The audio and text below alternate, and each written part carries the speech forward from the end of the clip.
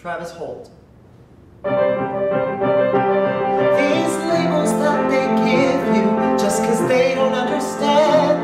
If you look past this moment, you'll see you've got a friend waving a flag for who you are and all you're gonna do.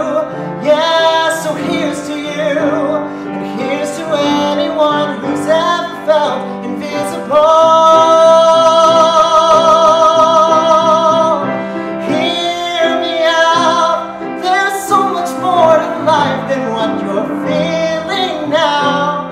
Yeah, someday you'll look back on all these days, and all this pain is gonna be invisible.